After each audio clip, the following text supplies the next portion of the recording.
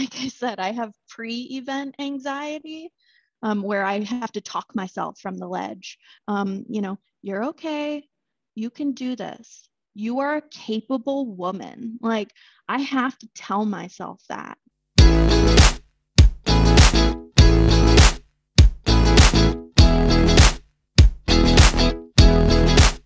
Hey everybody, welcome to Blushing Phoenix. I'm April, and on this channel, I help you understand that you can live your best life even if your skin turns red. Today, I have an interview for you that you are going to love. I'm meeting with a young woman named Bailey from Arizona who struggled with addiction, with substance abuse, alcohol in particular, for 15 years. I'm happy to say that Bailey is now in recovery and sober for two years, but she's going to share some of her story about how she started to cope with her blushing by using alcohol and other substances. And if you're not wanting to hear a message of hope today, then this won't be the video for you. But hopefully, you're wanting to feel empowered and feel that you can conquer the world. That's the message you're going to get from Bailey because that is her story. I'll let her tell you herself. Hey, if you like the video, be sure to give it a thumbs up. Don't forget to subscribe. And without further ado, Bailey, ladies and gentlemen. Hi, April. Hi, Bailey. Nice to How are you? I know you too. So good to see you.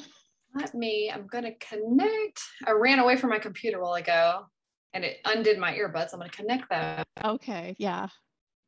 I know the struggle. It's uh it's lawn day, which I forgot about. So I have my work headset. So it's all good. Sometimes I send out that thing that's just like, here's some tips and how we can make this go a lot smoother but at the end of the day, this is just life. I, my kid is doing virtual school like right down the hall, so he was yelling out "mommy" while he go, and I was like "ah."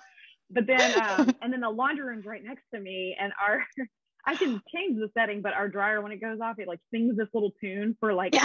feels like 10 minutes straight. So I was like, let me go ahead and turn that off just in case. But the oh really great gosh. thing about recording and video editing is that I can always just I can always edit it out or something crazy. Nice. I'm going to be like, let's time out. We'll go back and ask that question again. But other than that, I yeah. really like people to see it really raw and real. And if you've seen any of the interviews before, you kind of know how they're going to go. So it's Absolutely. really just comfort conversation. And I think people appreciate more of that anyway. Just I agree. Yeah, I love I yes, all of your interviews are super helpful. So, yeah, thanks for everything you do for sure. Oh, awesome. Thank you for just volunteering to be able to tell about your story. I think that was one of the things when I saw mm-hmm. in your uh, message, you said that, uh, let's see, you said, although terrifying, you know, that's what, what most people will say when they're, when I say, does anybody want to do this? Would you be willing to do this? Or when I ask people directly, they're like, that is terrifying. But for some reason, you just feel like you have to, you need to share. Always. Tell people. Yeah. Yeah. So what I'm going to do is um, I've just, like I said, I just took a little bit from your note that you shared with me because you don't have a heavy online presence of like things that you're talking about and doing. But mm-hmm. this is such a huge topic. And um, I don't know if I've shared this here on the channel, but in my personal life, I actually was in the behavioral health field for a few years working at an addiction treatment center. I worked at the corporate office that helped put people into treatment. So mm. it's really um, something that is really dear to my heart. People who have been through the struggle. I've, you know, cried with people, celebrated with people, watched people relapse and go back in, and even even in that is something that. Um, you know, I think people look at even the relapse as like, oh, I messed up and I got to start all over. But when you realize that's actually just a part of life sometimes too. So yeah. I learned so much in that in that realm and also just how ignorant I was prior to being there and seeing and hearing and knowing the ins and outs. It's not a stereotype. There's not just a stereotype of what that looks like. There, it's mm. real human beings. It's corporate executives. It's fathers. It's mothers. It's you know, it's not just what we would think of like someone who's addicted or an alcoholic. So I'm really right. excited to dive into this conversation with you because I think people yeah. are looking for a way to cope, especially with something that creates so much insecurity. and how do I deal with it? There doesn't seem to be a lot of answers. So just kind of to give an intro to uh, when I post this, you mm-hmm. are Bailey, and you had reached mm-hmm. out to share with me that you wanted to talk a little bit about your experience with chronic blushing and how you use substance you abuse substance in order to be able to cope with that. Addicted for 15 years, didn't really know that until, until towards the end. And you have been yep. sober for two years at this point. Yes. Awesome. Congratulations to you. Thank so you so much. You. So if you don't mind, Bailey, will you just take us into, I mean, just me, me and you here and everyone else to watch, just how that happened, where, when you started blushing, just whatever you want to share that led into kind of your heightened moment to your down moment to where you are now. And you've you've got the floor. We're in no rush, and you just go right ahead. Okay. Yeah. Absolutely. Um. So you know, I I think that I started blushing around like the age where young girls start, you know, popularity becomes a factor, like your breasts are coming in, like, you know, you're in middle school, like, you know, boys are a thing. And like, um, I, I remember uh, at that time I was having heavy um, sweating. I was sweating from my armpits that like, I mean, I would have like, you know, uh, sweat stains on my shirts. And so I think that that was around the same time that like I really remember like starting to be super uh, uncomfortable in my body. Um, you know, around puberty. so um, I think around that same time I started blushing. Um, you know, I remember it was probably like fifth grade. I got called on by a teacher um, and blushed. And uh, I just like remember feeling mortified. Um, so it's been the majority of my life um, that that's been an issue. Um, I mean, I have so many, you know, tra- honestly traumatic like you know memories of mostly in school um, mostly tied to school um, also in my professional life though as well. Um, i've been in um, my professional career for 10 years now. Um, and um, i mean they've you know they've asked me to do like uh, unboxings where i'm sitting like in a conference room where i all eyes are on me and i'm just a mess. Like i'm just i'm splotchy and red. I'm sweating um, thankfully, I did get like, you know, a prescription for um, Drysol for my sweating. So, um, you know, once I was kind of able to feel more comfortable in clothing, I mean, that right. did help. It, it, was a little thing.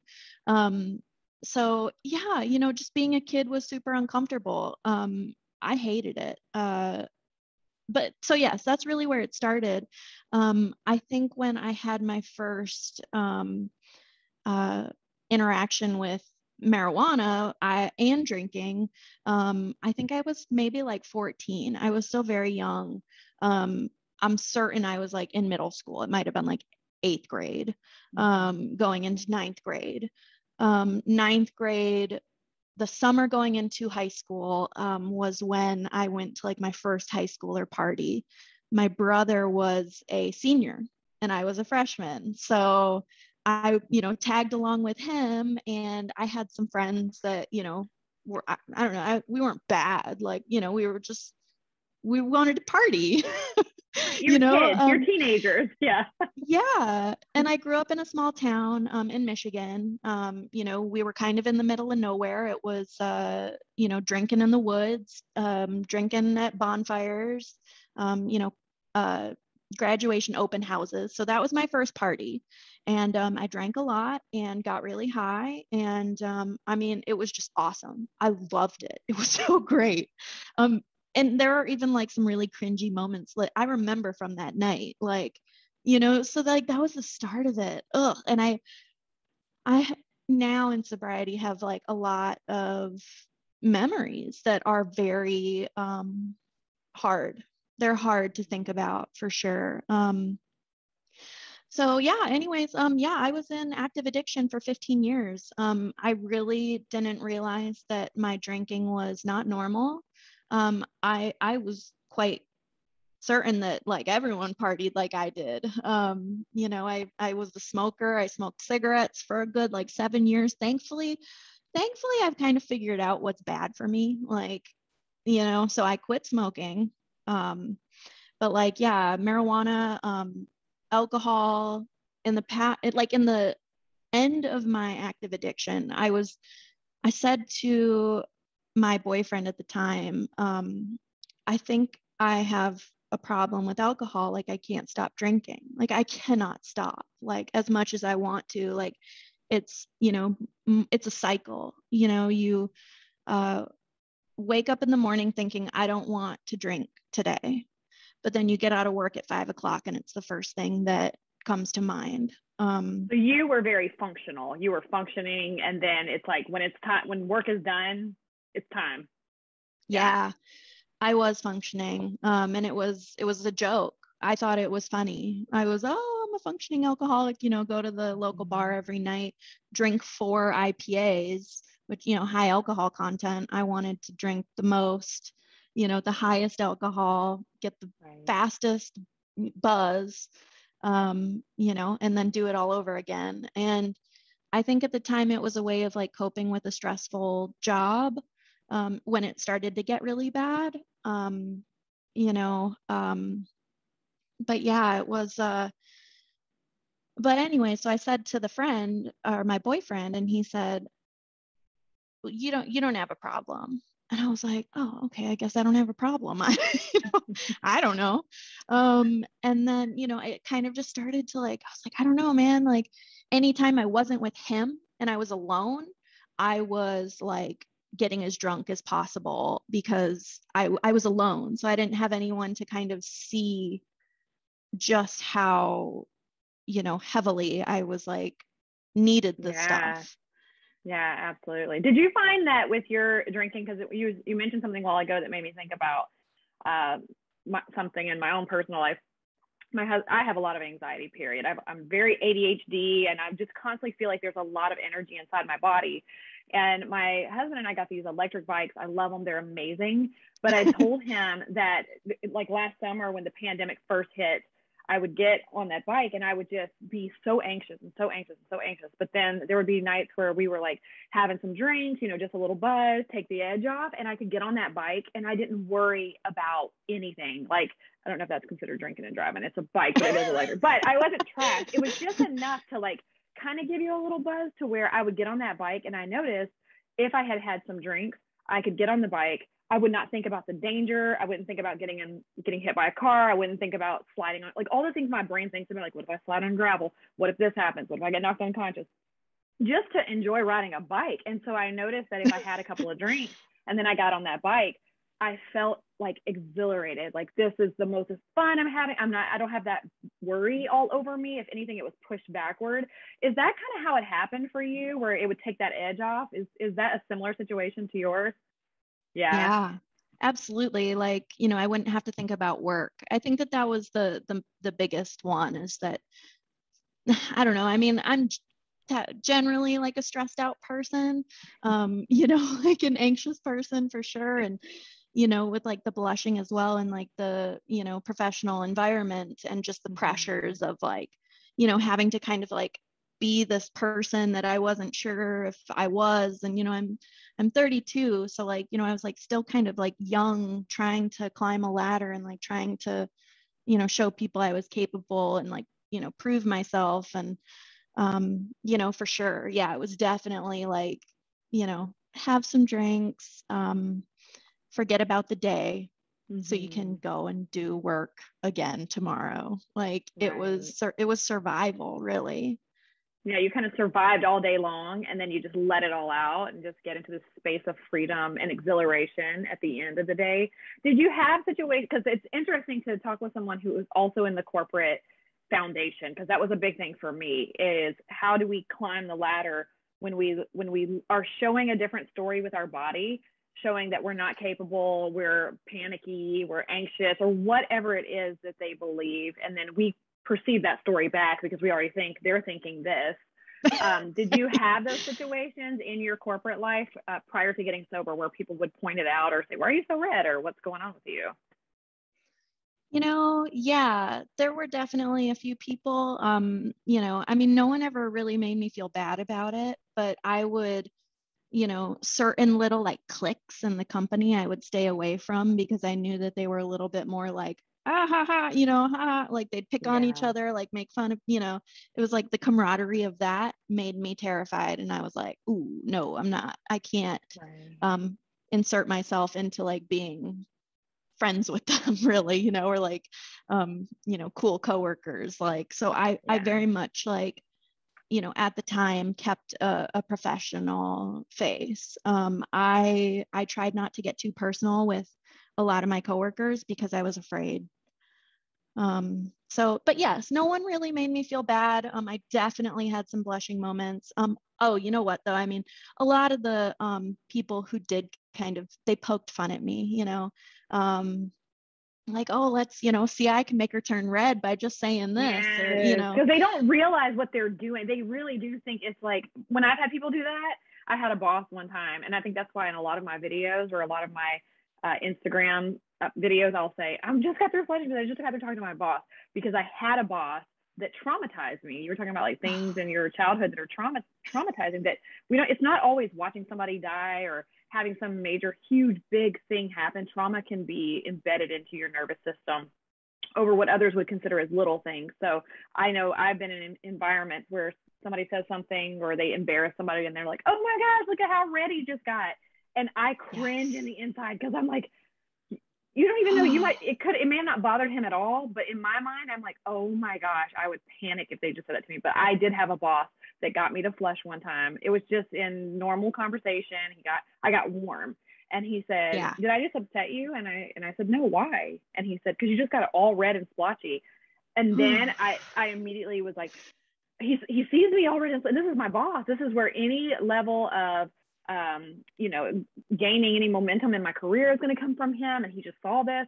And then he thought it was funny. So he started laughing. So I kind of laughed with him. And then every time I would see him after that, he created like a brain pattern for me. Because every time I would see him after that, he would go, he would say something and he'd be like, oh, there it goes. You're starting to splotch again. And it started happening every time I saw him because he created the story in my mind. I, I, I grasped onto a story that I created, that I let him create that put that into my nervous system. So then I noticed when I went to my next job, every single time I talked to my boss, which was a totally different person, but he was the person of authority, it created the br- the brain loop again, which is why I like to oh talk a lot gosh. about flushing and erythrophobia, but also what is the story we've told ourselves about it, and how can yeah. we undo that? So yeah, when people poke or make fun, they I don't think they mean to do. They don't know what they're doing, and that's part of like having these conversations is, is letting people know stop doing that. Please stop yeah. doing that. Or if Please. they are gonna do it, how are we gonna handle it? Or what do we do to go decompress, you know, afterwards to get it right. out of our system? Oh my so, gosh. yeah. I'm, I'm telling you, it's so wild. I did not. I look back at pictures of me prior to about five years ago, where I would wear really low neck shirts, and I was like, did I really go to work like that? And and I never swatched. I think I did from time to time, but I just don't think I cared.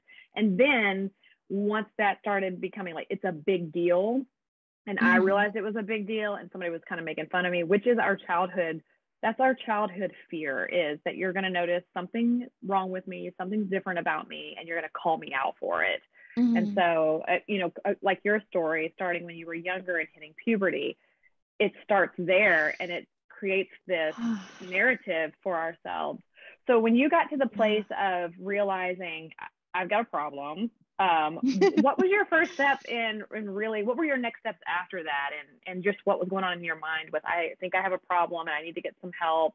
Um, can you walk us through that part of your story? Yeah. So i started talking about it.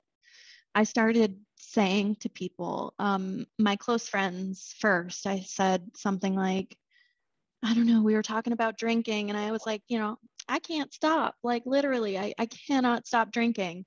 Um, I drink every day. I, you know, and they're like, and one of my friends just casually said, like, oh, have you ever thought about going to AA? And I was like, no, like, you know, um, and then, it, uh, you know, months, I mean, months went by and I kept saying, you know, I can't stop drinking.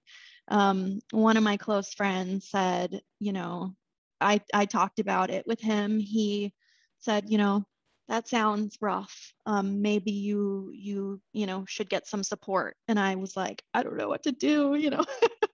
And he had a friend who was sober um, who was two years sober and he put me in contact with her. Um, she reached out to me. Uh, she was in the aa program. Um, so i met her for my first aa meeting and it was kind of like a you know i had my last drink the night before. Um, you know, I had that the last beer, and um, my best friend has a son, and um, he was, I think, maybe like one and a half, two at the time. But that night, I had, you know, drinking my my two beers, you know, getting prepared to go to AA the next day, and he gave me a hug and a kiss, and like, you know, I knew my breath smelled like booze, and it was kind of just this like it just washed over me. Like, you don't want to be known as like you don't want to be associated with that smell for him, you know.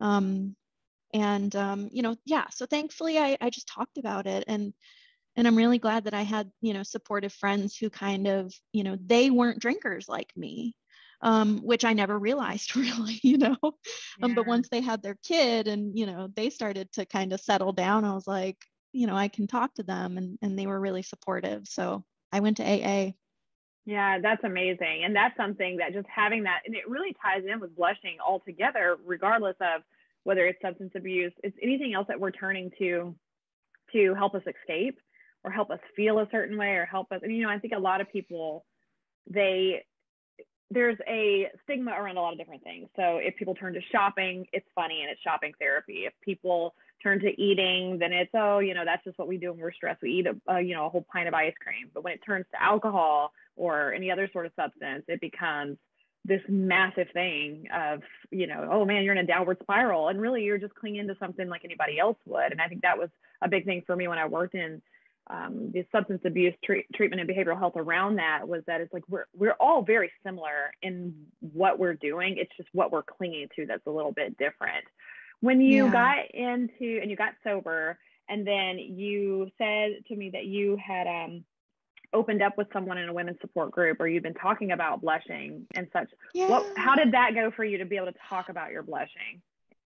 Oh my goodness. So i am oh i'm just beyond privileged. Um, i during covid it was uh, right when lockdown happened um, this group that i follow on instagram called she recovers posted hey we're going to start doing um, you know daily twice meetings um, it's it's just a women's group. And i was at that time you know i was just going to aa um, all the meetings had shut down so we went online. There, and that, and i always had like a little hesitation with aa there was always kind of like a, a sense of like not belonging. Um, so i went to this women's group and um, i mean i just kept going and going and like it just the the space um, felt so welcoming. And then um, I'm not even really sure what prompted me. Um, well, actually, no, it was around January of this year. I, I moved to Phoenix. I live in Arizona now. Um, and I searched erythrophobia on Reddit and like the internet and I started doing all of this research on it and I found, you know, you and and the Soulful Taz. I saw her video um, and um, and then the Reddit support group and then you know and then i just recently found i blush um, on mm-hmm. facebook. And so i kind of just like this is all recent that i'm like i cannot live like this anymore. Like i cannot live with this feeling. It's awful. Like i i i'm it's it's not it wasn't holding me back. Like i took you know this promotion with work where they wanted me to do presentations and stuff. And i was like oh my god. Like i can't i can't you know? Um terrifying, but people had they believed in me. My coworkers believed in me to do this job, you know. So um so I was just like so so lucky to like find the support. And when I saw that so many other people experienced what we do, I was like, "Oh my god, like I don't feel so alone." So then I I posted on my She Recovers Facebook group and I said, "You know what, everybody, the reason I'm here because of my alcohol use disorder is because of this deep down fear of blushing. I'm a, I'm an excessive blusher. My face blushes. I I turn blotchy and splotchy. You know, I'm nervous. I have generalized anxiety disorder. I have social anxiety. Like I can't I can't live, you know, like, like I'm doing, I'm trying, like, and I'm just, this is awful, you know. Um, I'm I'm looking for support. Um, I found support. I want to be honest with you all and let you know exactly what I really am struggling with, and it's this. And you, April, you wouldn't believe I had. I swear to God, it was like 30 comments on this post that were like, me too. Oh my God, I blush too. Oh my gosh, like Wow. I used to blush as a younger woman. Now I've, you know, gotten better, you know, uh, and a lot of people supporting. I had one person say, oh, uh, you know, um, kind of give me the childhood support, you know, for my my internal child, like, um, you know, Oh, oh, I'm so sorry. yeah. Oh, it was the sweetest. Like everyone was so supportive. Not one person, or you know, people were like, "Oh my God, I never knew that that was a thing. I'm so sorry you've dealt with this your whole life. Like, thank you for bringing awareness to it." Um, Wow. and since then, I've I've been able to say on my group meetings, "Hi, I'm Bailey. I'm in recovery from alcohol use disorder. Um, I've recently added." erythrophobia and the fear of blushing and excessive blushing and some childhood little t trauma you know just some some really tough memories um, and what's so cool about this group as well is it's not just women in recovery from alcohol use or substance use it's intergenerational trauma um, oh, geez you know i have the list and it's just eating disorders um, codependency uh, trauma love or sex addiction, burnout from overworking or, or caring for family members, um, shopping addiction, cancer, other illness, Wow. grief and loss. Like it's it's everything. Like so, it's just a group where these women are just. My heart explodes because I've I've just I've grown in sobriety because of them and because of the support I've gotten online from the erythrophobia support groups and like I'm things are like I'm seeing the gifts. I'm seeing the gifts of sobriety after 2 years and I'm working really hard to deal with some of the the stuff. So it's just incredible. Like I I'm sometimes in disbelief of it. Mhm. Is that group? Is that a private group, or is can anybody join that group, or how how can people get to, to that? Yeah, um, so it's a it's a women's group. Um, unfortunately, men are, are not um, you know, provided access. But um, yeah, we we uh, we accept any woman um, who's in recovery from anything, um, or just needs you know, women supporting women. Um, so it's uh, it's online. It's sherecovers.org. Okay, I'm definitely going to add that into the description box because I think that's something that's really huge for everybody. I think coming together and being able to talk about here's here's who I am, here's what I struggle with, and you know it's interesting when you give an introduction to yourself to say I'm April, meaning this is who I am, but here's what I've got that comes along with me, or here's what I've overcome, or here's what I'm overcoming, and I think there's some things in our life we're going to spend our whole life constantly moving through it, not in a sense of I feel like back in the day that would be really disheartening for me to be like, I'm gonna struggle with this for the rest of my life.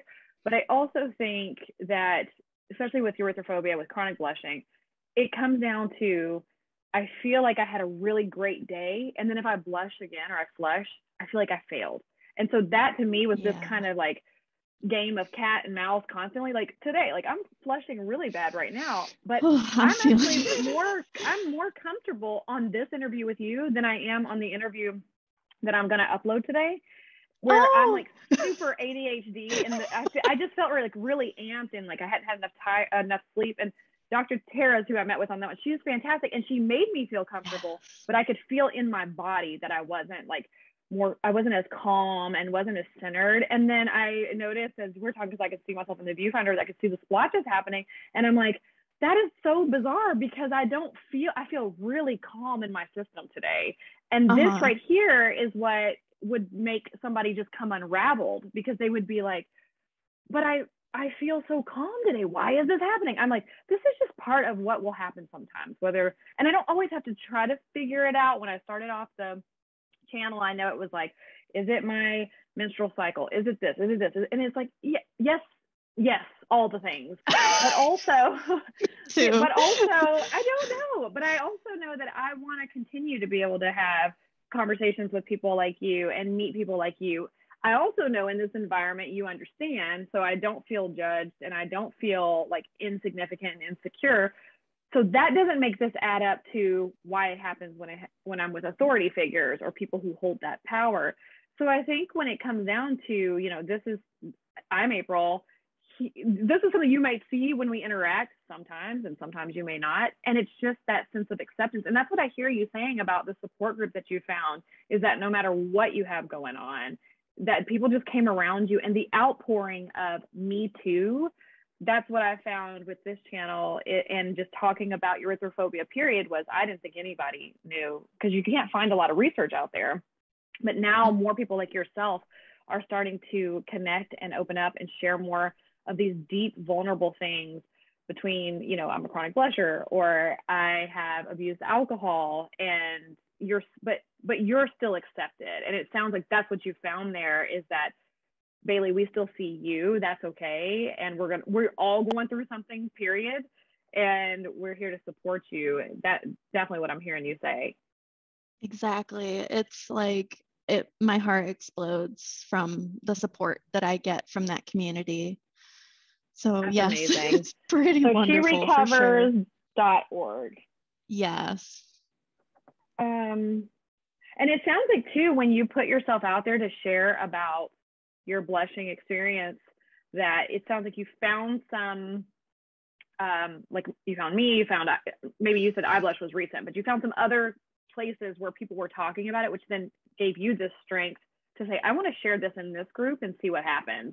So leading exactly. up to that, was it like, I can't believe I'm sharing this, or what was what was your experience about posting it out there? Oh, yeah, I was pretty nervous about it for sure. I was like, oh my god, like, you know, because I don't. Some people don't like it doesn't click, you know, um, or they don't think about it, or it's you know, it's I, I just and it for me, it's hard to explain um, exactly what comes along with with the blushing. Um, I mean, you and um, Soulful Taz, I can't think of her first name, but the the Laura. videos that you've done, oh my gosh, she's amazing. I saw your your interview with her too, by the way, and like so all all of the stuff that people have you know been able to put words on on the emotions that are attached to blushing um, has kind of helped me understand you know those feelings as well um, and you know again i've had like the privilege of having health insurance and being able to get seek therapy as well so mm-hmm. you know um i am with a regular therapist um currently we're we're digging into to some of the little t traumas um you know that are associated with my blushing um mm-hmm. so so yeah absolutely it's just so people who support it and and talk about it makes me want to talk about it. And you know when i did like when i've shared it in a meeting like i've had you know women support me and like you know i'm like oh my god thank you. Like i'm you know my heart is beating through my chest right now. And they're like oh don't worry. Like you're going to be doing a ted talk here soon you know? So when i get that support it's like really i'm like oh my god like you know, let's keep talking about it. I want to keep talking about it. Tell it, shout it from the rooftops. right. It's really a seeking out. Am I safe here? Do I belong here? Do I matter? And all the pieces of me, not just when I'm put together or when I'm, you know, I'm a good speaker or writer or I'm good at a craft or a gifting that I have is all of me accepted. And I think the more we're talking about it, the more we realize it's like this sense of relief when you said like 30 people or so came through and was like, me too or you know or i used to and i'm so sorry. Yeah you know i may i may not really fully understand how someone can struggle with it but i see you and i thank you for sharing that and i'm sorry that you ever had to go through that. We kind of get this like that's it? Okay i can do this again. And yeah that's yeah. the exposure therapy which is a huge part i think of moving through erythrophobia the interesting thing about laura soulful taz in my interview with her, which which you said you listened to, was what I found so crazy was that she said she actually doesn't blush a lot. It's just she's afraid she will blush. And so hearing that perspective was like, whereas like for me, it's it's going to ha- it's more rare that it doesn't happen to me, even though it's not on my face, it's more on my chest mm-hmm. and neck. But it's one of those things where um, to hear somebody say, I actually don't blush a lot, but because she's had a traumatic experience with it or traumatic experiences with it, the idea that it could happen again. And then I look at her and I'm like, you? Because I just think she's like the queen. Like she's so amazing. And when she's I so li- cool.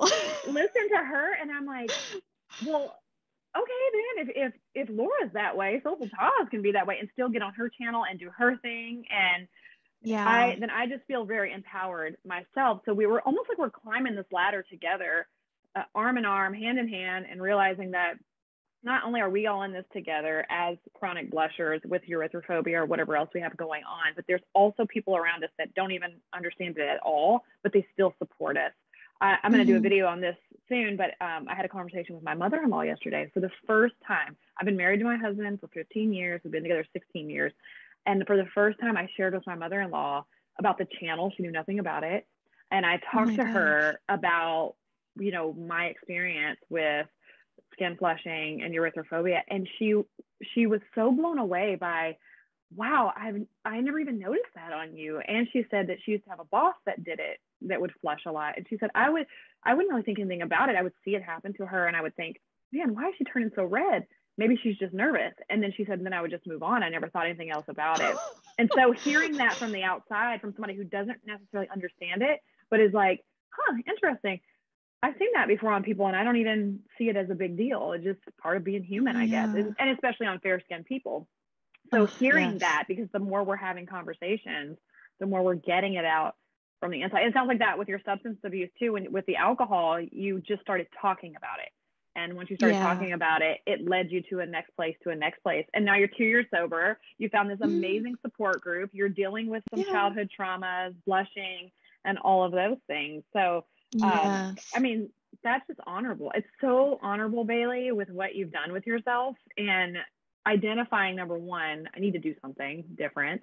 Yeah. And it's not stopping you in your career either. Is that what I'm hearing you say? Oh my gosh.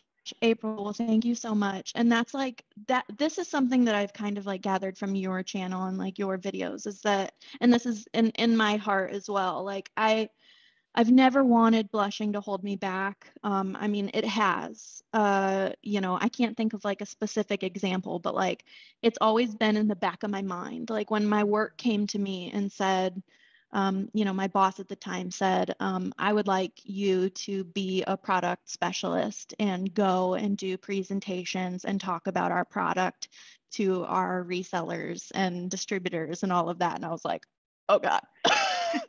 like I can't believe you're asking me to do that. Like, I mean, my heart just sinks and I'm like, I, I can't do that. I can't, there's no way. Like I'm, you know, I want to be behind a desk. I don't, don't look, don't look at me, you know? Right. Um, yes. Yeah, so, but they were so supportive and, you know, I kind of shared all of these concerns about, you know, being nervous and like this and that. And, you know, despite always kind of being like a bubbly, like, oh, ha, ha, ha, you know, um, type of sociable person i have i have always had the fear of blushing. I've always had you know it's it's always the forefront on my mind like um you're gonna blush uh and then what are you gonna do? Like kind of um catastrophizing catastrophe yeah. Oh yeah. Is that, is that a word? Okay. Mm-hmm. so if that's not we're making it up. It's going to be one. So yeah yeah. Catastrophe yeah, i'm going to blush and then the world is going to end. Right. It becomes a very catastrophic event. It is it is majorly yes. like part of the thing with the cbt is that i don't know if you've been through any cbt before but it's it's very much like what's the worst that's going to happen? And then you put yeah. your mind into that you know what's the most the worst thing like you said the world is going to end and we're like no, it's not. So what else is the worst that's going to happen? And, and then you kind of walk yourself through that. So, and is that something you are actively doing that you you are doing the product stuff? And I know you said you guys went virtual, but then you would go back into the office um, yes. soon.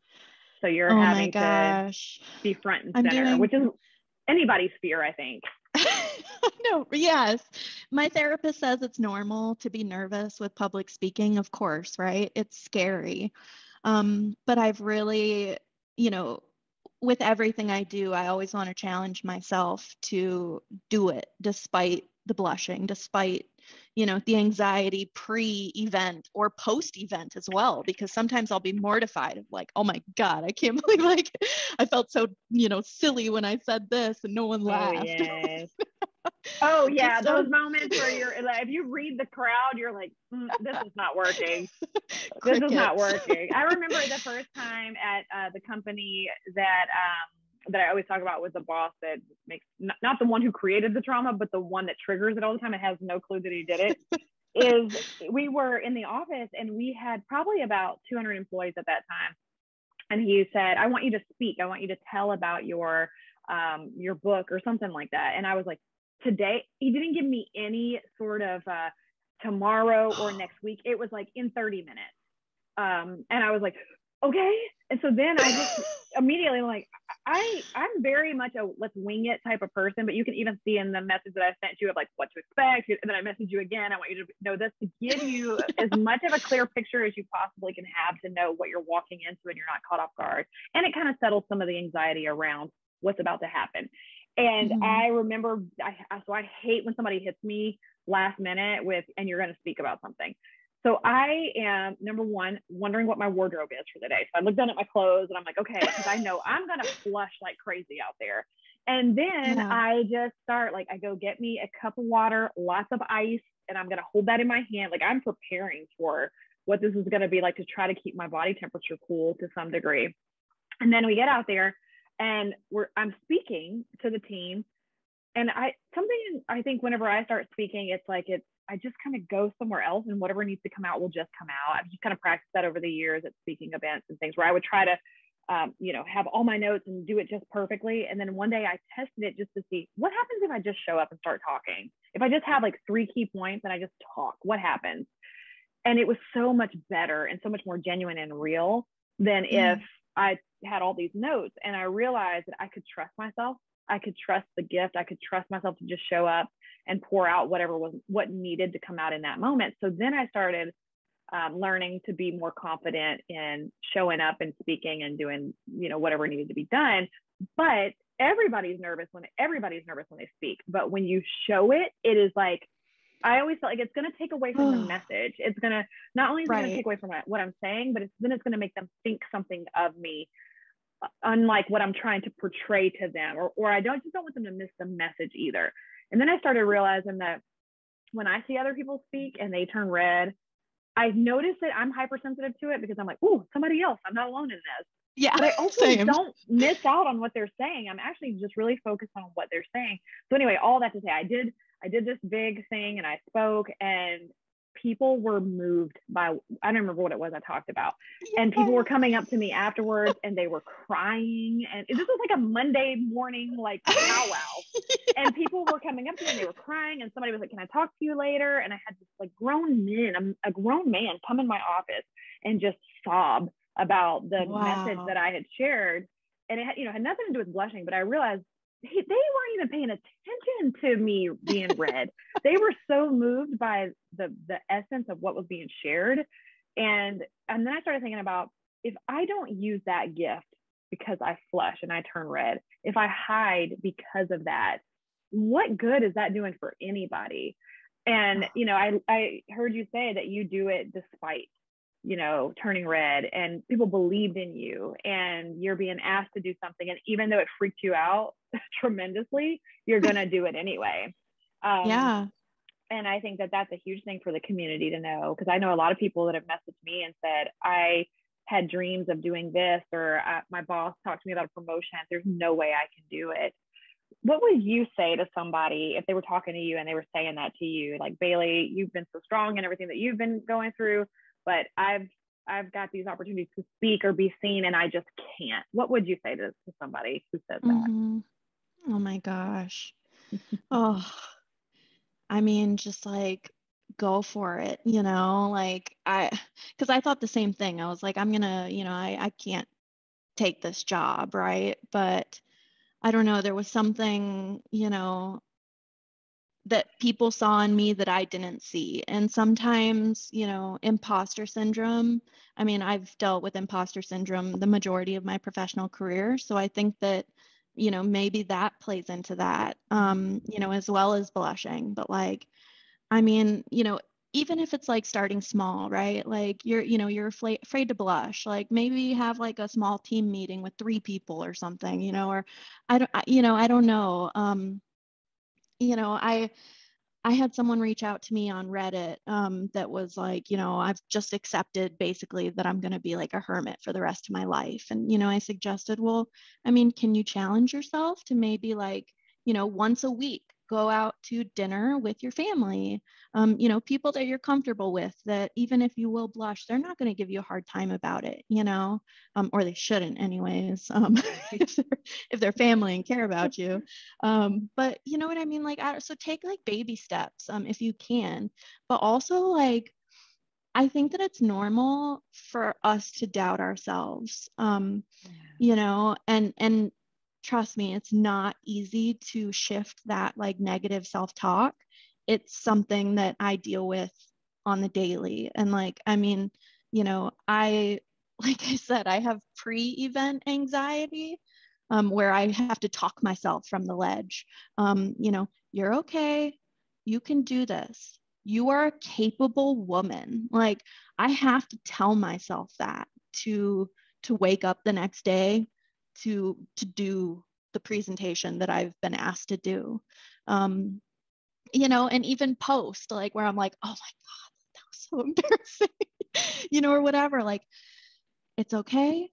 No one cares. Like, no one cares that I stuttered or like, you know, um, even if I do, you know, blush, um, you know, they're going to forget about it in a day.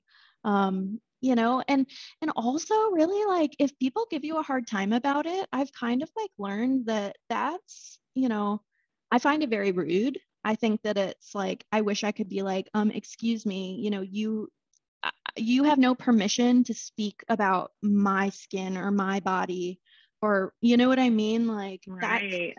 keep your comments it's a boundary. Yourself, yeah like set a boundary. Yeah. Yeah you know so but but when people you know say their you know two cents i'm like you know you're you're not a person that i like want to really be associated with so.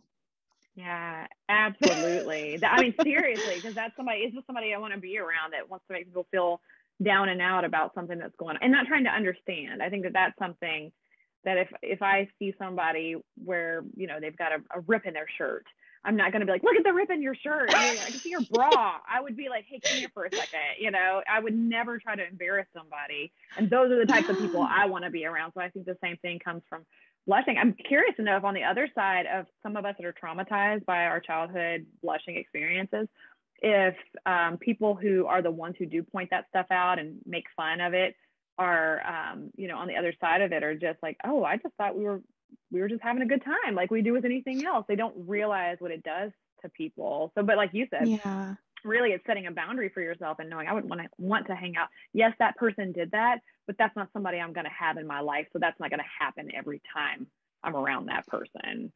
You know, yeah. except for me with my old boss, and then I would just try to run from him. I would just try to run because every time I'd be like holding my breath around him, and I would be like chugging oh. cold water, and I'd go in his office. He'd be like, "Did I make you mad?" I'm like, "Damn it!" it's, just gonna happen. Like you got me. You're in my head now. yeah, yeah, definitely. I mean, I've, you know, it's it's really tough. Like, and it's a daily thing where I'm like, you know what? I'm I'm a blusher. Like that's it's a part of me. Um, you know, I I don't know. I don't know what else to say about it. Like it's it is a part of me and and it's really hard to accept myself um, for that. I I you know, I don't feel comfortable in my skin some days. Um, it's really tough, but you know, I don't know. It's like it's it's it's that's me. You, like that's you made such a good point when you said it's normal to feel this way, and just hearing you say just so many things you just said, like the imposter syndrome, and even for myself as corporate corporate executive, been featured in Fortune magazine, have spoken at all these different things. I still feel imposter syndrome. And there's some days where I just feel like on fire. Like I feel good about, I feel confident. I definitely have days like that where I feel very true in my gifts and my talents and everything that I'm showing up to do. And there's other days where I'm like, who am I kidding? Like I, I still feel like a yeah. five year old kid half the time. I know. I like, feel that too. Who put me on a pedestal? Who gave me a stage to talk on? And but I have also known that there's for a huge season of my life, I played really small. I had a lot of gifting and writing and speaking, and I played small because I didn't want anybody to think that I was trying to be something. And so that right there identifies a major issue. I don't want anybody to think. And then I had this woman tell me one time, I was at this like women's event, and I said something about how I, I, would blog, but then I wouldn't. This was back in the day when people blogged. I would blog, but then, but then um, I would only post it like one time on my social media. I didn't want to constantly repost it because I didn't want people to think that I was trying to gain attention. And this woman who I think she is like a, a head, like a she was older than me, head of marketing, owned her own company. Um, she did all kinds of promotional things. She was very, I think she wrote a book. She was really strong, strong woman. And she said, uh, stop that in front of all these women. She said, you stop that. Like, I remember, I'm, I probably flushed when she did it because I remember yeah. being like, I just got called out, but it right. radically changed my life for the better because she basically said, she gave me like a mama talking to. She said, You stop that. And when I realized what she said, I kind of like, and I know all eyes went on me. I was being reprimanded. And she said, You don't play small for anybody. You have gifts and talents, and you've got things inside of you. And if you hold those back, you rob the rest of us. And so, although it was like a traumatic, like I'm getting in trouble by, I'm a grown woman getting in trouble by a grown woman. But I also am still speaking about it to this day because even though I wasn't deeply connected to her, she spoke such radical truth into me. Like, stop that shit. Stop doing that.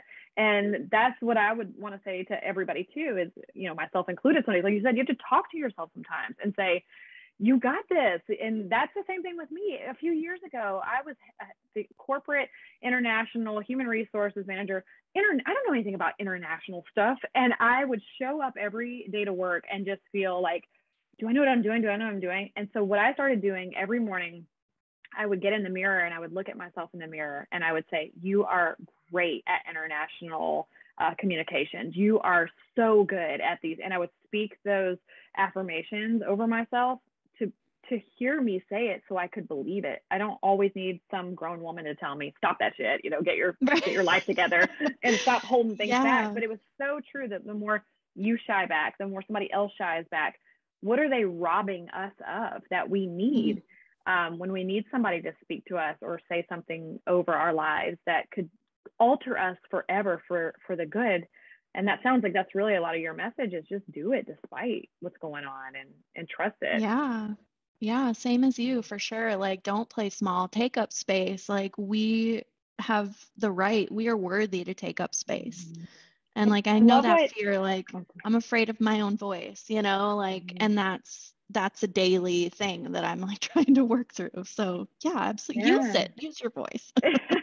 I love what you said about, um, te- you know testing things on a small scale go to go with three people have a meeting with those people and i and i also love and i think it's so true what you said about having conversations about the things that make you feel so scared and overwhelmed and and for people who blush especially if they would let themselves be vulnerable vulnerable enough to do that in a small setting to start letting their nervous system know this is happening but I'm okay. Like even here talking to you, I've been flushing the whole time and it got worse. But I never have at all felt like fight or flight. I've not felt like yeah. I'm holding my breath. And because I think I've been in these environments enough to know I'm safe here. Um, mm. I definitely see it, but my brain and my mind are starting to have a new story about it. So it's not as debilitating as it would be yeah. back in the day where it's like, and plus, what better space to flush or blush than in my own blushing business, which is funny because it's one of those things where I'm like, the more this can happen here, the better because it shows people in real time. This is a real thing. It happens. I actually get excited when it does it because yeah. I'm like, this is what people want to see. They want to see that it happens. They want to know. And I, you know, I've had somebody say to me before, well, then why don't you just wear the low cut shirts? And why don't I just am not comfortable in those kind of clothing, that kind of clothing anyway. But also, yeah. you know, I'm quick to be like, no, it's happening. It's definitely there. Uh-huh. It's happening. But um, I remember you were talking about talking through things that make us afraid and being with people. Um, when I worked with a PhD psychologist a few years ago, I got on a plane with him. I hadn't been on a plane in a really long time. And he knew I was really afraid of flying because I hadn't been on a plane. And I, and I just, even before that, never really spent a lot of time on planes. So just mm-hmm. like anybody else who nor- has normal fear of flying, a lot of people do. I remember right. we were getting ready for takeoff and I was sitting there probably holding my breath And as we were preparing to take off, he just started talking to me. So he turned to me and he started talking to me about just something random. And I realized what he was doing is he was trying to help me take my mind off of my, my internal fear. And then because he started talking to me, I was able to voice what I was feeling in that moment as we were taking off on the plane. And the next thing I know, we're up in the air, we're alive, we're okay. But it was mm. so comforting to be able to talk about my feelings and then talk about, you know, what's the most catastrophic thing that's going to happen which well that's probably not good on a plane because like we're gonna crash and die but yeah, but right. even then but we did we talked about it and but then we talked about but how often do we hear that that happens and it is mm. is it more safe to be on a plane than it is in a car or vice versa and just letting yourself hear yourself it, you validate how you really feel but you also realize, how ridiculous it is on the outside as you're talking about it so i think that's a big thing and i love your story of overcoming substance abuse it, so much of what I've been hearing you talk about is support. You know, oh, recognizing yes. things, processing things, and support, support, support, and having a place to. When you talked about, you know, I feel like I'm drinking a lot. I can't stop. You you talked about it, and then getting into this SheRecovers.org group and talking to them about your recovery, but also I also am dealing with some things from chronic blushing. And then people came around to support. So, as much as people point and make us feel bad sometimes, it sounds like there's a lot of great people out there too that are willing to receive us with open arms and just take us in. Yeah, absolutely. Like we're we're special. You know what I mean? Like that's kind of the way that I have tried to shift my thinking around it. Like we're special and we're unique. And I also had someone say to me once like, "Oh, I think uh, pink and pink and red patchwork is beautiful." So oh. now I I start to think of like my splotches as patchwork. Like you know like it's like like i i think vitiligo is beautiful you know what i mean like mm-hmm. so it's just kind of like you know and and what about people with acne right? You know what i mean? Like everyone has their own skin things like their own skin conditions or you know if you don't if you have beautiful olive skin that's wonderful. Good for you. I'm a little jealous. But also like i don't know maybe they have something else you know? So yeah. i i just i think we're special. And i i'm just if i can keep that thought you know then then like i can get through it you know? And yeah and support though for sure. I mean that's huge. I'm i'm so glad to know that i'm not alone because i thought for so long that i was. Mm-hmm. and that i think was a part of like what was so debilitating is that i was just like no one you know i just felt so alone. Yeah so, and i i agree about being very special. I think there is something in the people that i've met that have the same condition there's something so sweet and sensitive inside of them um, with Soulful Talks with Laura with Hake, I don't know if you watched the interview with him. There's this thing about really strong empathic people. We're very sensitive, we're very feeling. I'm pretty yeah. sure for some of us, it has to do with some codependency from when we were younger or, you know, taking in the environment around us so that we could stay safe in whatever that meant, whether that's something with mom and dad or whatever your, your mm. life was like as a kid. I think some of us pulled in that energy, but it also made a lot of us very sensitive to what people in the room are feeling so we can we can um, handle people a little differently. And a lot yeah. of us express our gifts by giving to people out of that sensitivity. And um, i mean i just i have so thoroughly enjoyed this conversation with you. I think you are Me just too. such a treasure. You I, I was looking through your stuff and i was like normally people will have a little more of a presence of like what's going on with their blushing or or something else that they're doing. And i was like you're like a little hidden gem because you've got this strong story and you pack a punch, but you're I, there's something special sometimes about people who don't plaster that all over the place. And you're just kind of going on about your life and you've got your own things going on. And, you know, and it also shows that you don't always have to be singing from the rooftops that, you know, this right. is what's going on. You could be a different style of personality. You can be different in your corporate environment. You, you know, with substance abuse, that's a big one. And how many people I'm excited to see will connect to this video and connect to you um, and and probably be able to share more about what they've been struggling with as, as well. Do you mind after the video is posted if people do reach out to you directly or what are your thoughts about that? Oh, I don't mind at all. I mean, yeah, I'm I'm happy to talk to anyone who wants to talk about anything. like, awesome. You know, yeah. So I will sure. make sure Thanks your information, asking. your Instagram is in the um, description box or if you have other information that you want to send over to me, email address or anything like that that you would like for people to contact you at so they will know how to get to you directly. And Bailey, in closing, is there anything else that you feel that we missed or in any final words that you would want to say to somebody who lands on this video for whatever reason they clicked on it and they made it this far? What do you want to say to them? About oh, anything. Oh, yes. Yeah, absolutely. Well, first, like thank you for this platform to be able to share my story and and and thank you for all that you've done. I mean, seriously. Um I guess um you know, I didn't know that there was help. Like I didn't know that there was support out there. Um with blushing and erythrophobia, but also with my drinking um, and substance use disorder. Um, you know, I mean that that AA meeting was a giant church with like a ton of women. And I was just like, oh my God, like, you know, I was convinced that I was going to be drunk and drinking for the rest of my life. Like, I was just convinced, like, I'm a drinker, I drink. Um, you know, I never thought that there was a sober life for me. I never thought that that was an option.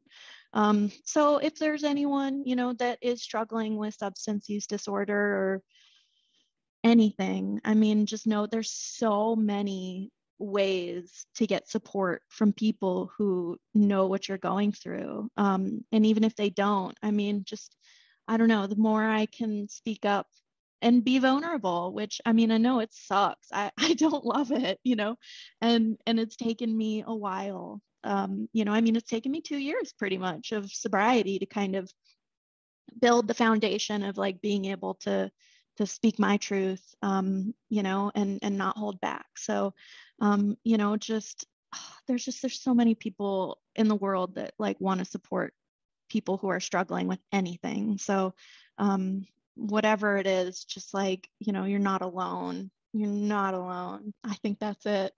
That's that is plenty. That is so great. And I love to, you did say earlier. You said you were still in therapy, or you had. Did you say you're actively in therapy still? I am. Yes, and she's amazing. I'm so so glad. Like, you know, we've we've talked a lot about the blushing. She asked me questions about it. Um, you know, yes, we're we talk about it. We're currently reshifting my thinking. Um, so that's tough. Um, that is tough, but it's you know it goes work. to show that you're you're active in everything. You're active in your recovery. You're active in um, your blushing situation. And so even though people can look at you and say well bailey overcame. She overcame. Look at her. She overcame. But then i think it's huge when you say and i'm in therapy because it's ongoing. Yeah. i think it's ongoing. I don't think we ever just arrive. I think we will overcome a lot of different things. But then we'll we'll discover something else that we're like well shoot yeah. I that on my schedule to talk about you know? So yes. i love that about you. You're very proactive in your healing. You're very proactive in taking control of your life and keeping it out there in the in the front and center. Thank you so much for your time. I can't i, I literally can't thank you enough. This has been such a sweet conversation and it's so i love meeting people that i've been connecting with online. I know, I know. so neat. Yes Thank you so, so much neat. for setting this up. Like I'm I'm very grateful and, you know, just sending all of my love. Thank you again. And Bailey, have a great rest of your day. Thank you so much, April. Thank have you. A good one. I'm gonna stay on here for just a second now that Bailey has hopped off because I thought that was so fantastic that even while we were talking, I'm so comfortable, calm in my system that I was flushing the whole time. And this is real life. I mean, and what's so funny about this is that it's not even that bad down through here. It just hit around this area. But it goes to show that it's not always about trying to figure out why it's happening or what could have been different in this environment. I don't really think there was anything different that could have happened. I there's nothing in my mind that I could figure out is this happened this time because of this. And yes, I was drinking coffee, but if you watch the video with Dr. Tara, I was drinking coffee as well. And I was more hype and like ADHD and reaction to things. I felt a lot of energy in my body that day, a lot of excitement. It's not that I wasn't comfortable talking to her, it's I was really excited about a lot of different things going on and just amped about that connection. Same thing with Bailey, really looking forward to meeting with her. But because I did my first interview with Dr. Tara, that was the first interview I've done in a long time since having, you know, being pregnant, having the baby.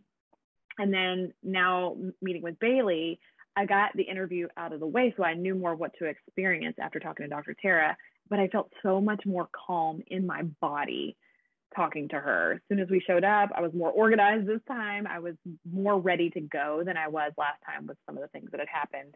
Uh, prior to my meeting with Dr. Tara, I was having some computer issues. So everything lined up smoothly here, and yet I still flushed in this situation when I actually felt more calm and centered and prepared and everything else. So it just goes to show that, you know, Bailey's story is a fantastic example of we're all dealing with this in different ways. We all deal with different things in different ways, and she's still showing up. And what I love about having her in real time as I started flushing, she acknowledged it when I talked about it, and then we just moved on with the rest of the interview. And this hope is there for every single one of you. It is there for you, and it is not easy. It's not easy to start. And I know that you might be listening to me and going, there's absolutely no way I could ever do what they're doing. But let me tell you, I didn't think I would be doing this. I did not think I would be flushing on camera for people to see and then carrying on. This is not how I imagined this. I always mention this. If you go back to my first video and you watch me confessing about my blushing experiences and how it makes me feel, I am small. I am so small in that in that situation. My energy is gone. I am defeated and depleted and I'm desperate for help in that moment. And here we are, almost 2 years later, and I just feel so empowered by people like you, people like Bailey who are showing up to tell their story about how they keep showing up. Her life is not perfect. Her history has not been perfect and look at where she's at. And each one of us have that available to us despite the fact that you may blush or flush or have any other skin condition going on. We want to connect with people who want to connect with us. We want to connect with people on that higher scale and that higher level, as Bailey said, not people who want to point at us and laugh at us and make us feel small. And I love what she said about take up space. So that I'm going to leave as an invitation from Bailey to me, to you, to all of us is be sure that you take up space. We can work through the rest of this however we need to, but don't forget to take up space because you're worthy and because we need you. Thank you, everybody, for listening today. I will leave Bailey's information in the description box below. If you like this video, please be sure to give it a thumbs up. And as always, if you haven't subscribed, go ahead and subscribe to the channel. And remember, you are healing even if you still turn red. And even chronic blushers can still live their best life. See you in my next video.